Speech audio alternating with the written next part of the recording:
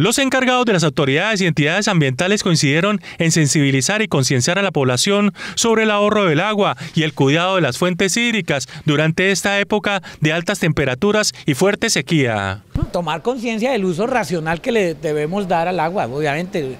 Es simplemente que el ciudadano entienda que no podemos derrochar el agua, que la debemos tratar con, el cuidado que corresponde y en la cantidad que debe emplearse para el desarrollo de la, pues, de, calidad de vida de los, del ciudadano. Los funcionarios también reiteraron su llamado a las comunidades para evitar el uso de musgo, líquenes y pinos, entre otras especies vegetales, y no utilizar pólvora ni realizar quemas controladas por el riesgo de provocar incendios forestales. Persona que en su momento eh, sea eh, sorprendido en su momento pues será sancionado conforme a las eh, normas ambientales, conforme al, proceso sancionatorio como, como institución que podemos hacer y también si en su momento comete un desastre mayor pues ya viene una judicialización ante la materia penal. Las autoridades ambientales en Santander confirmaron que la temporada de calor se extenderá durante todo el primer trimestre del próximo año.